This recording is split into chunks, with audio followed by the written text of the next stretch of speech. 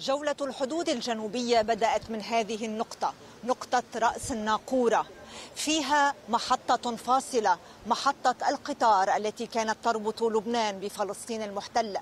تاريخ إنشائها يعود إلى ما قبل النكبة العام 1942 ولكن لم تعد هذه المحطة توصل أحدا إلى فلسطين المحتلة.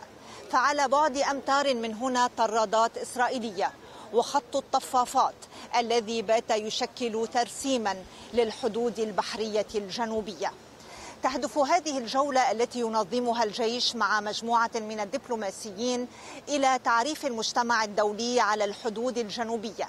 هذه الحدود التي رسمت عام 1923 في اتفاقية بولينيو كومب ثم عام 1949 في اتفاقية الهدنة.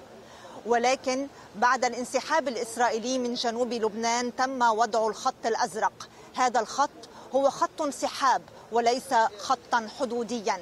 فيه 13 منطقة متنازع عليها بين لبنان وإسرائيل ويريد الجيش اللبناني التأكيد على هذه النقاط المتنازع عليها على الخط الأزرق الذي هو خط انسحاب إضافة إلى المنطقة المحتلة في مزارع شبعة وتلال كفرشوبة ومن أجل هذا الهدف كان للجيش رسالة وجهها عبر الخارجية إلى الأمم المتحدة للتأكيد أن ما يطالب به لبنان ليس ترسيما للحدود وإنما إظهار للحدود الجنوبية المعترف بها دولياً.